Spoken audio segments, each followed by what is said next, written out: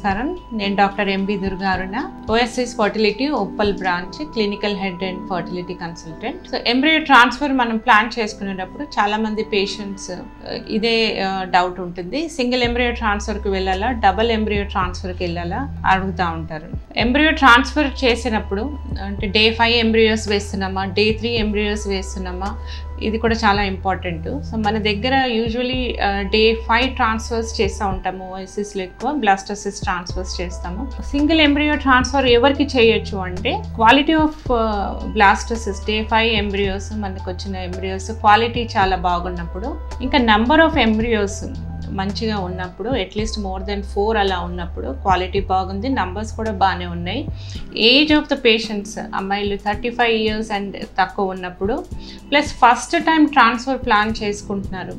ఇట్లాంటి వాళ్ళకి ప్లస్ ఇంతకు ముందే ఆల్రెడీ ఐదర్ ఐవీఎఫ్ కన్సెప్షన్ అయినది లేదా అంటే న్యాచురలీ కన్సీవ్ పిల్లలు ఉన్నారు అని అనుకుంటే ప్రెగ్నెన్సీ న్యాచురల్గా ఇంతకుముందు వచ్చి ఉన్నది అంటే అంటే any history of pregnancy whether naturally conceived లేదంటే ఐవీఎఫ్ ద్వారా కన్సీవ్ అయినా కానీ. సో ఇట్లాంటి వాళ్ళకందరికీ single embryo transfer definitely better ఉంటుంది. సో డబల్ ఎంబ్రియో ట్రాన్స్ఫర్ ఎవరికి చేద్దాము అని అనుకుంటే సాధారణంగా వయసు థర్టీ సెవెన్ థర్టీ ఎయిట్ కంటే ఎక్కువ ఉన్న వాళ్ళకి లేదా ఇంతకు ముందు రికరెంట్ మల్టిపుల్ టైమ్స్ ట్రా ఎంబ్రియోస్ ట్రాన్స్ఫర్ చేశారు ఫెయిల్ అయినది రికరెంట్ ప్రెగ్నెన్సీ లాస్ ఉన్నది ఇట్లాంటి వాళ్ళకి డబుల్ ఎంబ్రియో ట్రాన్స్ఫర్ ప్లాన్ చేయొచ్చు. డే ఫైవ్ ఎంబ్రియోస్ మనం ట్రాన్స్ఫర్ చేసే మటుకైతే ఖచ్చితంగా రెండు కంటే ఎక్కువ ఎప్పుడు వేయము సో మ్యాక్సిమం నెంబర్ మనం ట్రాన్స్ఫర్ చేసేది టూ మాత్రమే.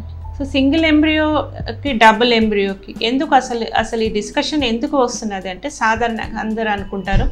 టూ ఎంబ్రియోస్ వేసాం కదా మనకి. సో టూ ఎంబ్రియోస్ వేస్తే మనకి ప్రెగ్నెన్సీ ఛాన్సెస్ డబుల్ అయిపోతాయి అని అనుకుంటారు. కానీ ఇట్లా చూ సైన్స్ స్టడీస్ చూసిన మటుకి టూ ఎంబ్రియోస్ వేసినా మనకి increase in the pregnancy rate it's just five percent increase five percent increase pregnancy rate కోసం అని చెప్పేసి మనం డబుల్ ఎంబ్రియోస్ వేస్తే సో దానివల్ల మనకి నష్టాలు ఏమవుతుంది? లేదా సైడ్ ఎఫెక్ట్స్ అనుకోండి. ఏంటి అనుకుంటే so pregnancies twin gestation pregnancies అంటే కవల పిల్లలు ఇంకా ఎక్కువ నెంబర్ ఆఫ్ ప్రెగ్నెన్సీ బేబీస్ ఉంటే సో ప్రెగ్నెన్సీ లోడ్ uh, అయితే అమ్మాయి మీద ఎక్కువ పడుతూనే ఉంటుంది. So pregnancy complications twins and more than two foetuses అంటే complications and the mother are very high obstetric complications high BP అంటే ప్రెగ్నెన్సీ ఇండ్యూస్డ్ హైపర్ టెన్షన్ అంటాము డయాబెటిక్ కాంప్లికేషన్స్ ఇవి ఎక్కువ ఉంటాయి. ప్లస్ తొందరగా ముందునే డెలివరీ అయిపోవడం అంటే ప్రీ టర్మ్ డెలివరీలు అయిపోవడము. సో వీటి వలన ఏమవుతుందంటే పిల్లలు తొందరగా పుట్టేస్తారు నెలలు నిండకుండా పుడతారు.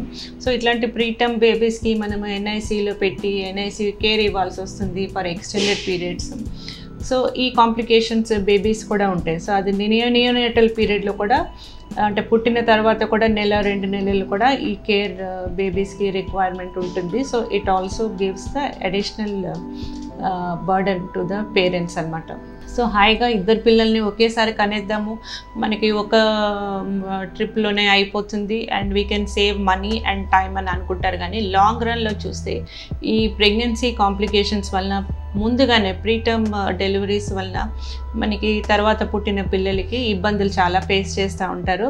అండ్ ఖర్చులన్నీ చూసుకుంటే లాంగ్ టర్మ్ ఖర్చులు చూసుకుంటే ఎన్ఐసి ఖర్చులు నియోనేటల్ కేర్ ఎక్స్పెన్సెస్ తర్వాత హాస్పిటల్ ఎక్స్పెన్సెస్ చూస్తుంటే దానివల్ల మనకి అడ్వాంటేజ్ అయితే ఏమీ మిగలదు. It adds more to the financial burden at a later date ఈ క్రైటీరియా ఈ ఎలిజిబుల్ ఉన్న లేడీస్కి better to go for single embryo transfers అంటే young mothers less than thirty five years age good quality embryos good number of embryos previous pregnancies ఉన్న వాళ్ళకి ఖచ్చితంగా they should consider single embryo transfers అలాగే కొంతమంది లేడీస్కి medical complications already ఉంటాయి. Especially more than thirty five years age ఉన్న వాళ్ళకి already hypertension ఉన్నది ఆల్రెడీ వాళ్ళకి ప్రీ డయాబెటిక్ ఇట్లా ఉన్నారు or any other medical complications ఉన్నాయి.